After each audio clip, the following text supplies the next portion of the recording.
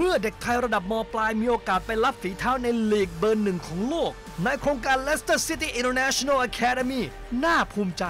สาวฝรั่งกรี๊ดเด็กไทย คิดว่าเราอยู่ที่นั่น 6 เดือนเนี่ย เราเตะบอลมาตลอดชีวิตเราแล้วแต่การที่เราได้ไปซ้อมกับ Academy ในลีกที่ว่าดีที่สุดในโลก เราได้เรียนรู้อะไรซึ่งเป็นสิ่งใหม่ในชีวิตบ้างไหมครับ ถ้าผมอยู่ไทยผมก็จะมีพ่อแม่เออผู้ปกครองคอยแนะนำคอยชี้แนะ แต่คราวนี้ผมไปอยู่โดยที่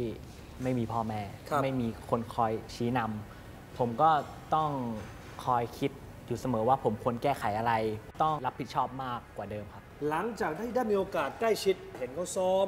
กินข้าวกับเขาผู้เล่นคนโปรดที่เราชอบคือใครพ่ออะไรของผมก็เป็นแคสเปอร์ชไมเคิลอ๋อเป็นโกเหมือนกัน ก็คือผมชอบตรงที่บุคลิกของพี่เขาดีมาก คือนิ่งเป็นคนสุขุมผมชอบตรงนั้นผมชอบคามาริกครับ คุณเป็นกองกลางแต่คุณไม่ชอบกองหน้าเนี่ยนะอังเดรคามาริชเพราะอะไรฮะเขาหล่อครับเขาดูแล้วเฮ้ย ใช่เลยครับ หมายถึงเขาใช่คือใช่กองหน้าที่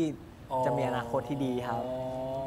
คือสาวๆในยุโรปเขาบ้านักฟุตบอลมากครับ เป็นไงได้ข่าวมีคนมากรีดกรารเยอะเลยก็ปีครับ ไม่ใช่ผมอ่าเนี่ยเราก็ปิดก็ไปอยู่เฉยๆเอามือปิดปากไม่ต้องพูดอะไรเลยนะฮะก็เวลาก๊อปปี้กระโดดพุ่งเซฟนี่ครับ โอ้พอตกลงทีผู้หญิงแทบจะวิ่งไปรับไม่ให้ตกพื้นเขาบอกว่าก๊อปปี้หล่อครับ ก็แบบไม่อยากให้ก๊อปปี้เจ็บแล้วกระโดด